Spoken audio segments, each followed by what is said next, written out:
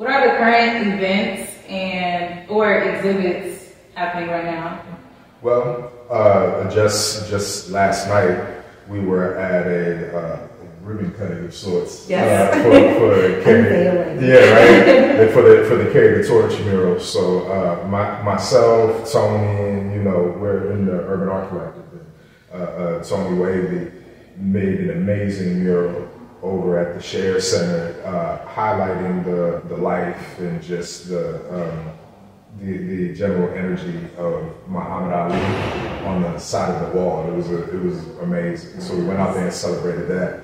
And uh, before that, I mean, we had the exhibit here in this building for the Urban Art Collective, showcasing uh, our you know previous artists, new artists, and yeah, that that was really exciting. Yeah, great, it. great work, an amazing showcase Yeah. and um, yeah, future events um, to bring back up the barbershop initiative. So um, all of the, the work that I did throughout the summer, and you know, potentially a handful of other artists will be showcasing work over at the Lyric Theater in collaboration, um, you know, potentially with some people that we will announce later.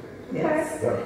And to um, piggyback off of that, we're also going to be having a Stronger Together music festival that's tied into a public health fair that we will be having at the Lyric Theater on April the 20th, which we'll, we'll be announcing the lineup uh, soon. But it does involve all genres and all styles of music um, with a very diverse base of artists that will be joining us for that event well. We're very excited about that. I'm excited. Yes. Absolutely.